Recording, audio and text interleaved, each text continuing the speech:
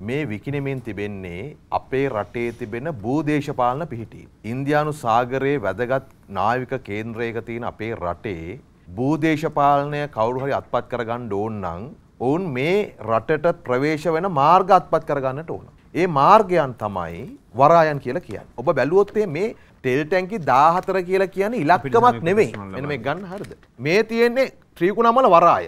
වරාය ළඟතියන තෙල් ටැන්කි දාහතර තමයි ඉන්දියාව අවුරුදු දහටත් තිස්සේ අත්පත් කරගෙන හිටි මේ ආණ්ඩුව කරන දේ තමයි අවුරුදු පණහකටම මේ දාහතර ඉන්දියාවට දෙනවා. මේක නිකං ඉන්දියාවට ඕනේ තෙල් ටැන්කි නෙවෙයි. හරිද තෙල් ටැන්කි නම් ඉන්දියාවට දකුණු ඉන්දියාව හදාගන්න පුළුවන්. තමිල්නාඩුවේ කේරළය හදාගන්න පුළුවන්. මේ තියෙන්නේ ත්‍රිකුණාමල වරාය පාලනය කිරීම සඳහා ඔවුන්ට වරාය ළඟ බිම් කඩක් ඕනේ. ඒ බිම් කඩේ තියෙන තෙල් ටැංකි 14 තමයි උන් අත්පත් කරගෙන තියෙන්නේ. මොකක් හරි රටේ වාසනාවකට ඒ ලීස් එග්‍රීමන්ට් එක මාසයකදී ගහගන්න බැරි වුණා.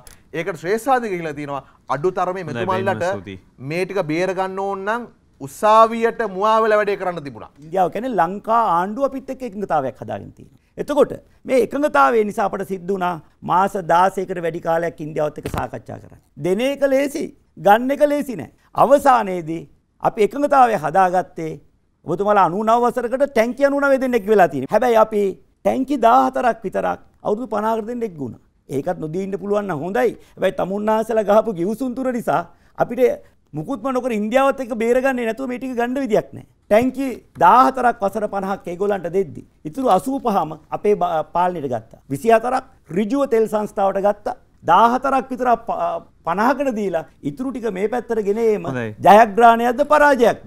මේ අතර ත්‍රිකුණාමලයේ තෙල් ටැංකි සම්බන්ධයෙන් ඉන්දියාව සමග ගිවිසුමකට එළඹීමට එරෙහිව අධිකරණය හමුවට යාමට සූදානම් බව පූජ්‍ය ඇල්ලේ ගුණවංශ හිමියන් පවසනවා.